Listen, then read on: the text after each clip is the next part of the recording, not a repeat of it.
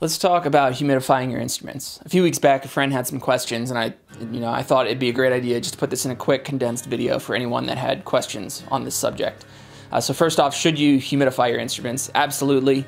Unless you live in a naturally humid environment, it's warm all year round. Um, but if you live anywhere that it gets cold, you have to heat your house, which is going to dry it out, or especially the places where it's already naturally dry, like the middle of large continental areas uh, you definitely want to humidify your instruments. A few of the dangers of not humidifying. Number one is that the thin tops on acoustic instruments can actually crack. Unfortunately, a few years ago, this was the first year that my wife and I had moved into this house after buying it. I didn't realize how dry it got in here. And one day I picked up my D28 and it just had a thin hairline crack in it. Didn't really realize what had caused it. So, like two weeks later, we're sitting on the couch and I hear a bang from the music room, which was originally the dining room in this house and I came over and the bridge had popped off my classical. So wood can crack, glue can come undone on bridges. I've seen it on bindings of guitars as well. Uh, and additionally, especially on electrics, now electrics are usually fine if you don't humidify them. I definitely recommend humidifying all instruments, but if you don't humidify your electrics, you're probably going to be fine, aside from the fact that you'll feel a little bit of fret sprout. So what happens is the wood contracts a little bit when it gets dry, the metal doesn't change at all, and so the ends of the frets you can actually feel them on the edge of the, uh, the, the neck as you go up and down. The ideal humidity level that you should look for is usually between 45 and 55%. Uh, sometimes that's hard to maintain, especially when it gets really cold. Like back in December, we had that cold storm that came through. The entire United States was affected, um, and it got down to negative six here before the wind chill. My humidifier in the room really had a hard time keeping up with it, so I transferred some of my acoustic instruments to their cases, which also had little humidifiers in there. Uh, and that got me through the week or so that it was really cold. But other than that, I keep this room, which is about a 12 by 12 room, 12 feet, uh, just humidified with a single floor unit, which I'll talk about a little bit in this video. I personally prefer to keep all my instruments out in the room accessible.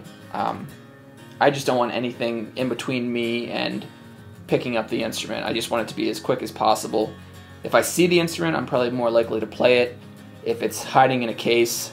Uh, the way I work, same with the food in my fridge. If I don't see it, I forget it exists. So um, that just helps me practice the guitar more often, just keeping it out. So this is the humidifier that I use in my room. It's made by Levoit. I'm sure there's a lot of other brands that produce basically the same product. Um, it was relatively cheap and it works well for what I needed to do.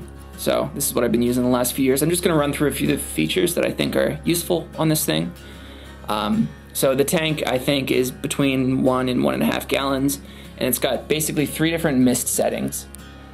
Uh, so if it's you know in the winter, if it's above freezing, one is usually fine, and the the tank's to last for about a day and a half.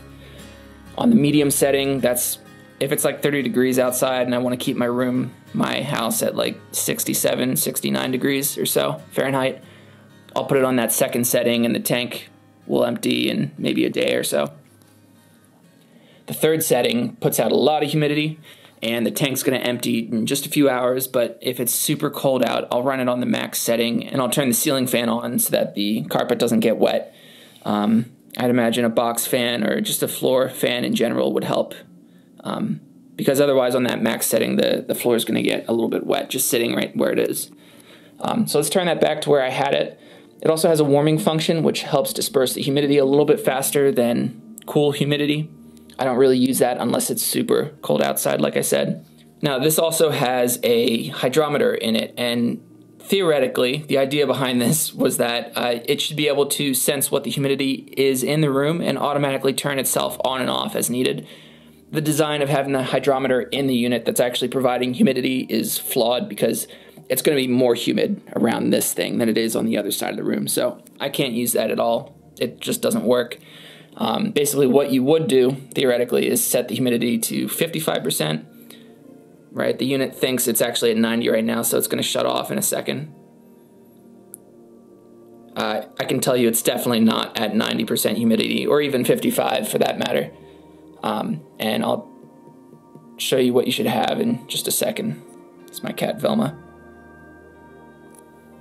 So I'm going to turn that humidity function back off. I just run it all the time, and if it gets a little bit too humid in the room, if it's warm outside, I'll turn it off for an hour or two and open the doors to the rest of my house. to help uh, equalize the humidity.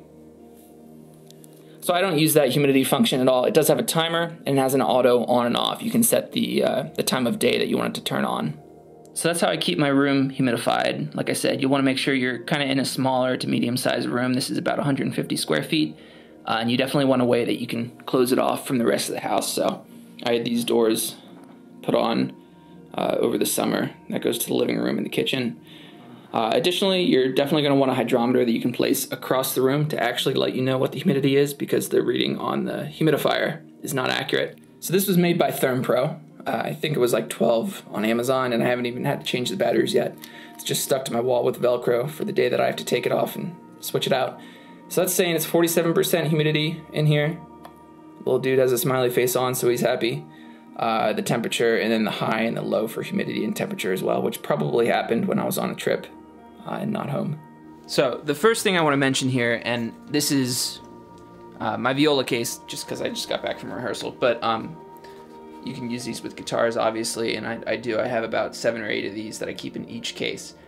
This is just an in-case humidifier. Uh, it's very simple. You fill it up with water. It recommends distilled, uh, but I always just use tap water, and it works fine. And it's it's it's made to keep it at the appropriate humidity. And you can actually see here in my case, it's got a hydrometer built in. It's a really nice case. So this is telling me that it's sitting around 50%.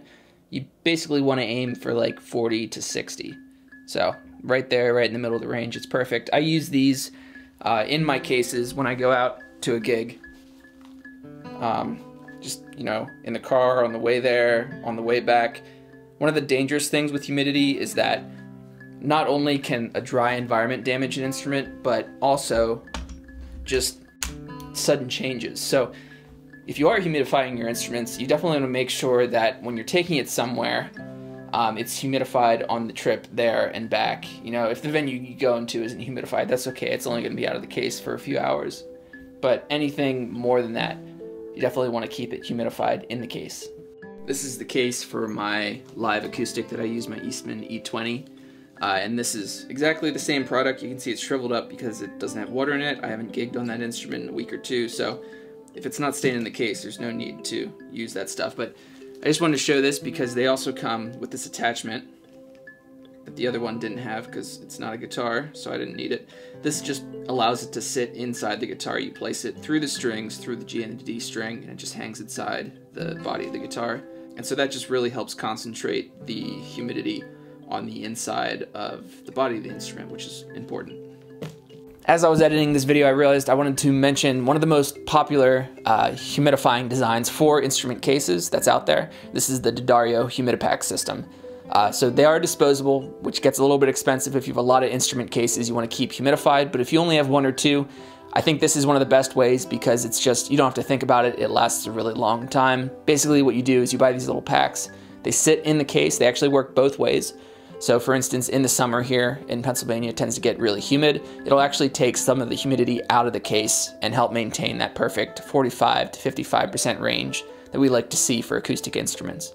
In the winter, when it's drawing humidity out of the humidipak and dispersing it within the case, uh, once the humidipak starts to get towards the end of its life, it'll actually become hard. But what you can do, and though D'Addario specifically prints on the packaging, it's not safe to do this, I'm not sure why, probably because they want to sell more. Uh, just take the humidipak and I throw it in like a Tupperware container with a wet sponge. Over the course of a few hours, the humidipak will actually take on the moisture from that sponge uh, and you can reuse it. So just another option to think about uh, if you want to go with the instrument case route. This is my acoustic travel case, uh, you know, soft shell backpack style. And this is what I use for my D28 and also my arch top jazz guitar, my Eastman. So those are very important guitars to keep humidified. For this, I got a Music Nomad humidifier, and I actually uh, sewed it to the side of the case since it's soft shell. Basically, it's just a very high density sponge. It holds an incredible amount of water for how big this thing is. And in the driest part of the year, it'll last about a week. So I just run that underwater when I need to go out with one of those instruments. So that's how I humidify my instruments. That Levoit humidifier works great. I've been using it the last few years. There's going to be a link in the description. Uh, there's a small commission that I'll get if you purchase through that link that just goes to help fund the channel and these videos. The only thing I would have to say is if you get a room humidifier like that, you just have to remember to descale it every now and then if you're using tap water, basically any water that has a little bit of calcium in it, that calcium is going to build up. Uh, and what you do to dissolve it is just make uh, an acidic solution. So take like white vinegar and water. I usually fill up the tank halfway, just 50 50, and I run that through in the garage when it's warm out. I'll do that when I take the humidifier out for the first time. Usually at some point during the winter, you know, on a, a warm day or something, I'll put it in the garage and let it run. Uh, and then at the end of the season, before I put it away in about March or so, I'll run it through again. So that's all I have to say. Uh, I'll put the instrument case humidifiers in the description as well if you want to check those out. Thanks for watching, take care, and I'll see you in the next video.